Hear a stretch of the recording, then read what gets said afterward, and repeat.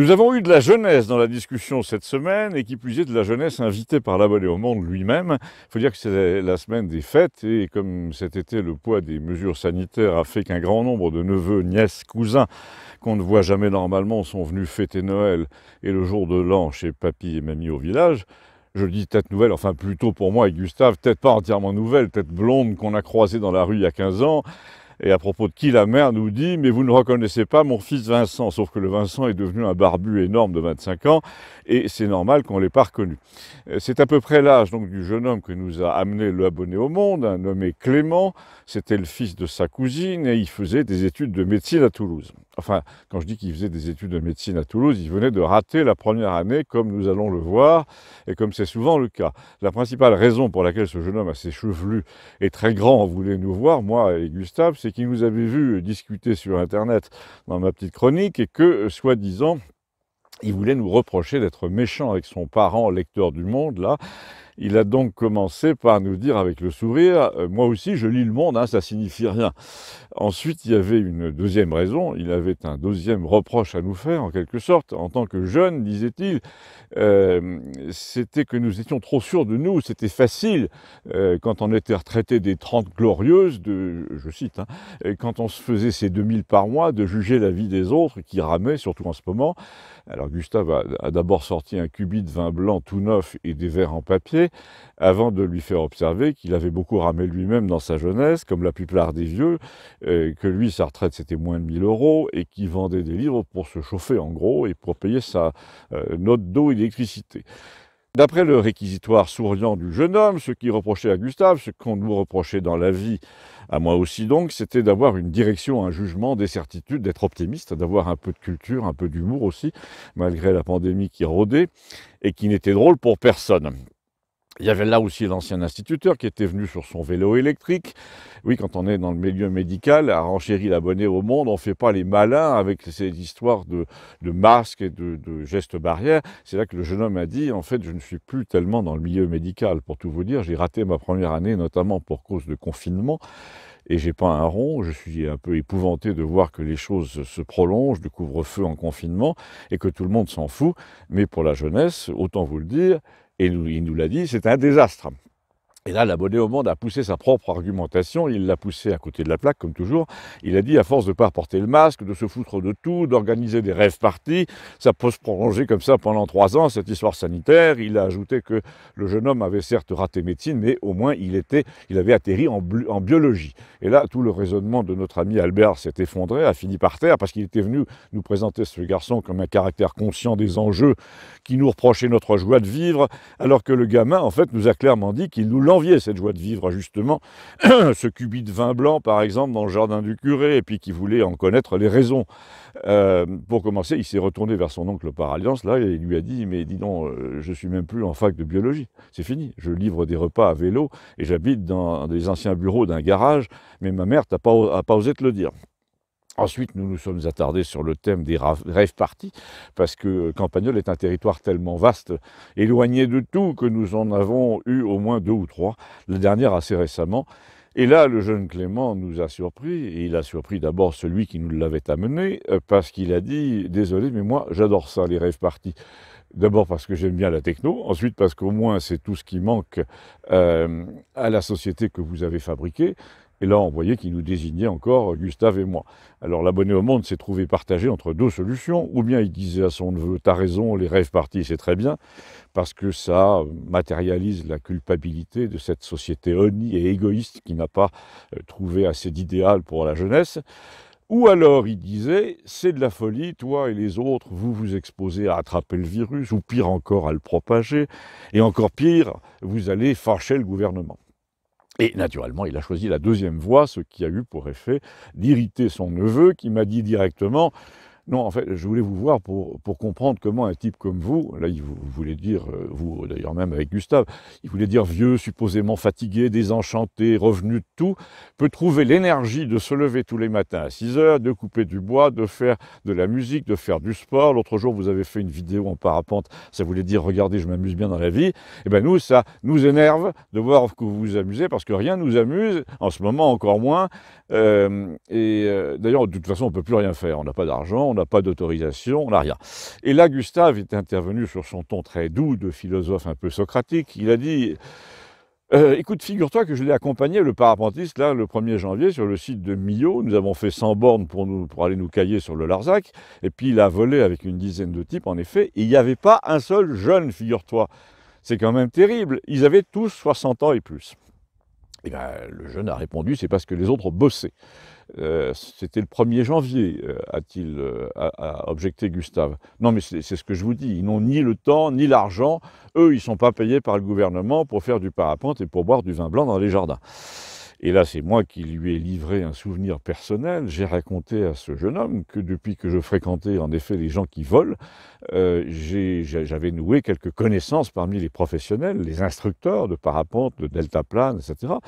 Et que l'un d'entre eux, avec qui je discutais, m'a dit, tu vois, ces huit glandeurs là-bas qui sont vautrés dans l'herbe, eh bien, ce sont des jeunes des quartiers en difficulté qu'on m'envoie de Paris et qui n'ont évidemment aucune envie de voler, ils ont pris le stage parce que c'était gratuit, et, puis c'est tout. Donc, à part boire du whisky coca toute la journée et jeter des cailloux sur les troupeaux de brebis, ils savent à peu près rien faire dans la vie, et ils ne veulent rien faire surtout.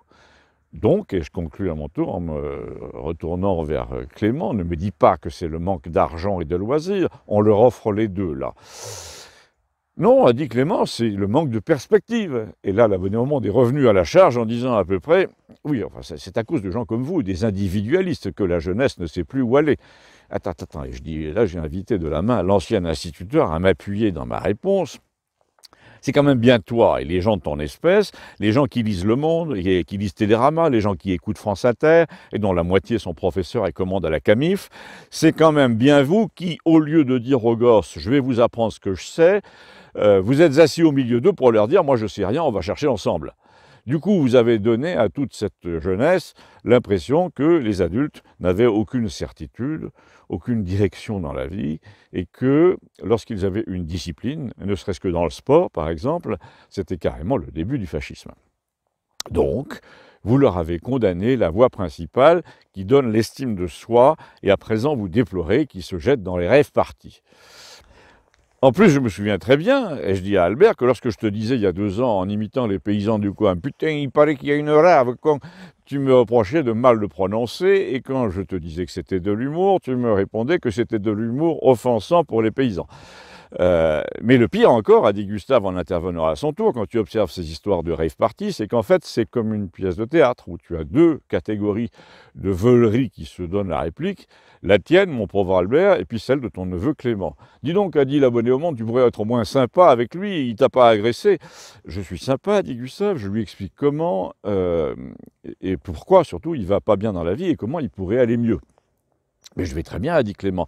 Sauf que non, tu vas, sautiller dans l'herbe pendant 4 heures sous des haut-parleurs à 100 décibels, et tu te prends des extasies et de l'acide, et à part ça, tu vas bien. Ah, vous m'avez l'air de très bien savoir comment ça se passe, a dit le jeune homme. Dis donc, j'ai 70 ans, mais j'ai tout fait, j'ai tout pris, du LSD, de la DMT, a répondu Gustave, et là, je vois très bien ce qui se passe. Il y a un monstrueux malentendu dont on a tous été témoins tu as trois ou quatre camionnettes de gendarmes qui passent trois jours sur un chemin vicinal à proximité de la fête et qui, en fait, sont, sont, là pour contenir les débordements, pour jouer les infirmiers, pour faire de la prévention ou de la pédagogie, comme ils disent. Et là, je te parle de l'époque où il n'y avait pas de virus, parce que maintenant, c'est encore pire avec les mesures sanitaires. Et là, les raveurs, eux, passent la nuit dans un état proche de la lévitation, parce que quand tu tapes dans le LSD, tout paraît dérisoire. Et là, au moment où tu as l'impression, euh, en tant que consommateur, de recevoir la visite de l'ange Gabriel, dans des couleurs qui n'existent même pas sur la Terre, tu as un gendarme qui vient te dire, vous vous rendez compte que vous mettez votre vie en danger?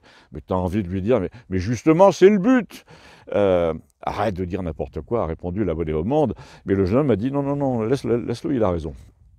Ils envoient les gendarmes pour éviter qu'il y ait une euh, overdose ou un accident de la route, mais euh, la société, en fait, est incapable de te dire par quoi il faut remplacer tout ça. Et en plus, en ce moment même, euh, si elle te le disait, tu ne pourrais pas le faire faute de fric et faute de liberté.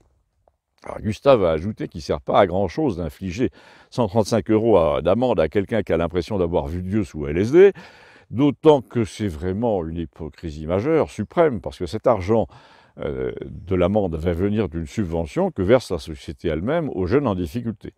Et là, évidemment, l'abonné au monde a parlé de sophisme ridicule. Il en était presque au point de dire à son neveu n'écoute pas, n'écoute pas. Mais justement, le jeune lui, dit, lui a dit si, si, laisse-le parler.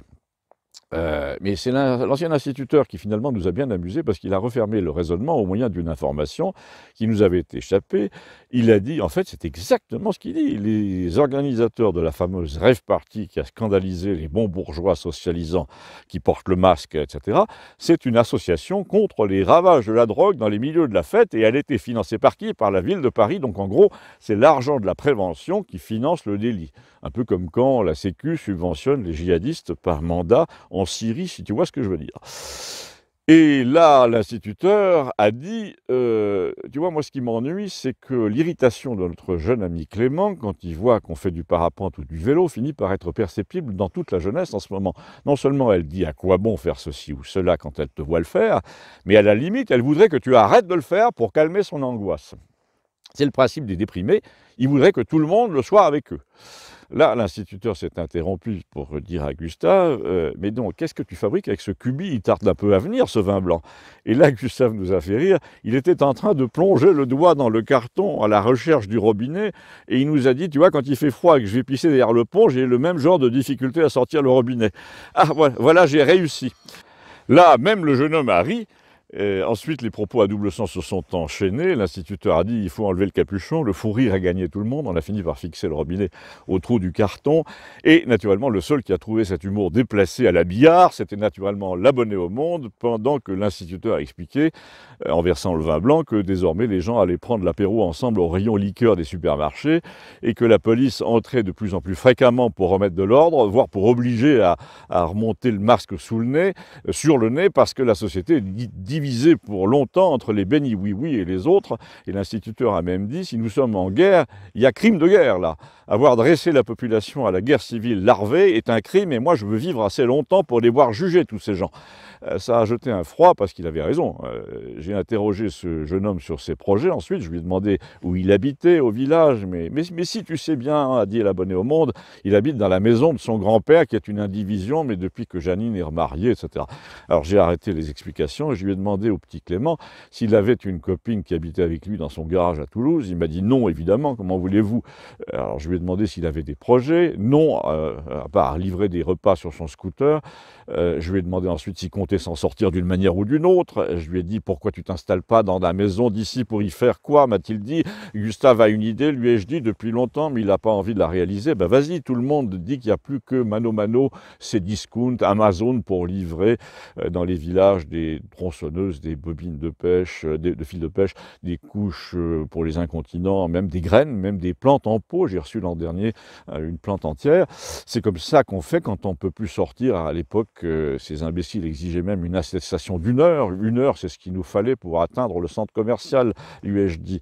Et là, j'ai ajouté, tu n'as qu'à prendre des commandes de vieux qui ne savent pas se servir d'un ordinateur sur Internet qui ont peur de donner leur carte bleue ou de payer deux fois, qui ont peur de ne pas être là le jour de la livraison. Il y, a, des affaires à faire en ce moment dans les gros villages comme le nôtre, dans les cantons éparpillés comme le nôtre. Tu montes une permanence de commandes en ligne avec un gros ordinateur, une boutique.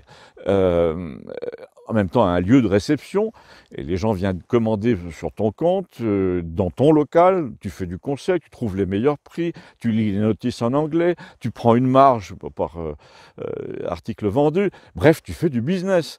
Oui, mais avec quel argent pour démarrer? Mais déjà, tu as de quoi te nourrir, tu as une voiture, tu as, Pôle emploi, tu demandes une subvention de départ à la communauté de communes, je te prête un ordinateur à grand écran, Gustave te conseille pour, pour les paiements en ligne et pour monter tout le bazar d'auto-entrepreneur, l'URSSAF, etc. Puis dans six mois, tu es presque à flot. Ah, il a dit Clément, je vais y réfléchir. Je vais en parler à ma mère, euh, mais ce n'est pas ma maison ici. Je ne sais pas si mon demi-frère sera d'accord pour que je m'installe euh, pour un business. Pour un projet de ce genre, qui est comme un service public, lui ai-je dit, le maire te prêtera une salle, te paiera l'électricité.